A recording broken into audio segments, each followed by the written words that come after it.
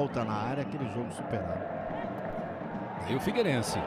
Lançamento na velocidade, vai chegando o Maicon Leite, ficou de frente com o Luiz, pode pintar o primeiro, chutou direto!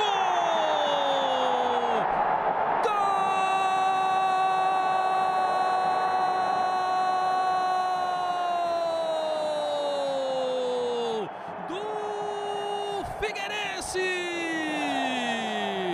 Cinco minutos, segundo tempo jogo, até o Romário vibrou nessa, hein? Lançamento na velocidade, Maicon Leite. Escolheu o canto, ficou de frente com o Luiz. Mais um ângulo diferente para você conferir. Mandou para o fundo do gol. Sai na frente o Figueirense. Maicon Leite, um Figueirense, zero Criciúma. Uma bola colocada nas costas do quarto zagueiro Nino. Ele não teve. Olha só como o pé dele está pesado no gramado. Mas pernas estão pesadas. Ele não, não conseguiu acompanhar nem de perto o Maicon Leite. Uma bola colocada nas costas dele. Ele estava marcando muito a distância o, o número 7 do Figueirense, que jogou fácil.